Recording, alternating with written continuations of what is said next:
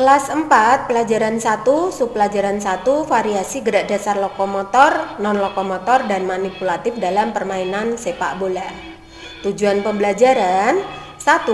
Menjelaskan variasi gerak dasar lokomotor, non-lokomotor, dan manipulatif dalam permainan sepak bola.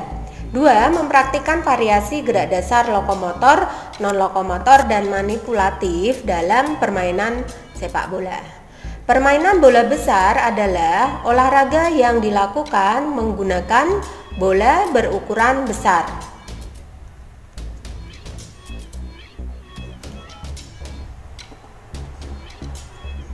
Contoh permainan bola besar antara antara lain permainan sepak bola, permainan bola voli dan permainan bola basket. Pembelajaran di pertemuan kita kali ini adalah permainan sepak bola.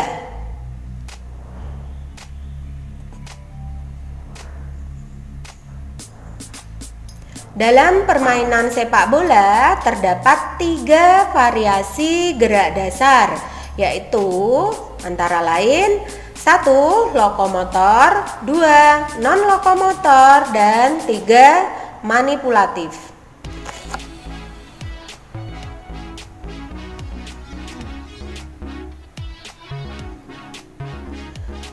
Gerak lokomotor adalah gerak berpindah tempat.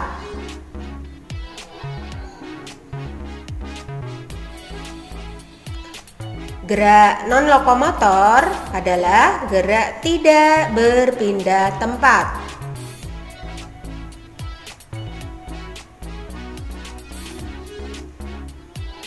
Dan gerak manipulatif adalah Gerak yang melibatkan benda di luar tubuh.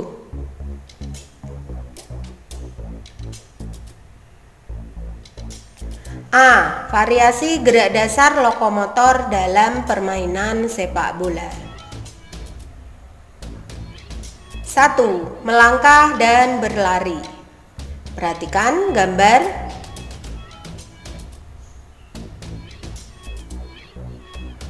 Dua, berjalan dan berlari berkelok-kelok. Perhatikan gambar.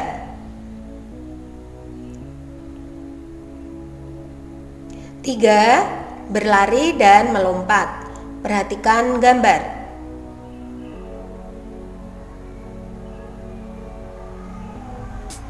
B. Variasi gerak dasar non-lokomotor dalam permainan sepak bola. 1. Menekuk dan mengayun kaki. Perhatikan gambar.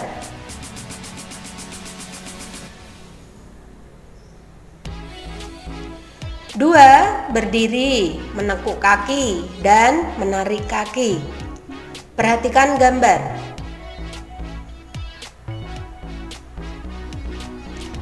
Tiga, meliukkan badan ke belakang dan mengayunkan badan. Perhatikan gambar. C. Variasi gerak dasar manipulatif dalam permainan sepak bola 1. Menggelindingkan dan menendang bola Perhatikan gambar 2. Menghentikan dan menendang bola Perhatikan gambar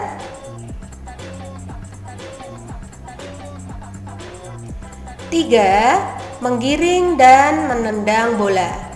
Perhatikan gambar.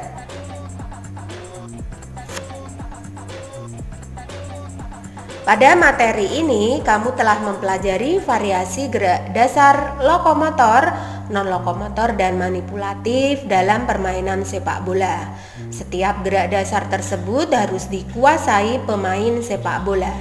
Agar dapat menguasai keterampilan variasi gerak dasar, kamu harus berlatih secara disiplin dan tanggung jawab. Sikap inilah yang harus kamu biasakan dalam kehidupan sehari-hari. Tugas praktik Lakukan variasi gerak dasar manipulatif dalam permainan sepak bola secara individu yaitu menendang dan menghentikan bola. Gunakan kaki kanan dan juga kiri. Lakukan sebanyak dua kali.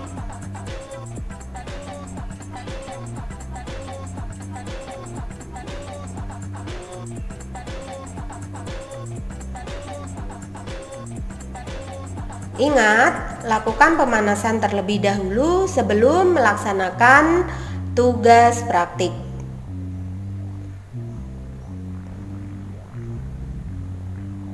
Tanyakan jika kurang paham. Kita akan berjumpa minggu depan lagi dalam pembelajaran berikutnya. Salam olahraga.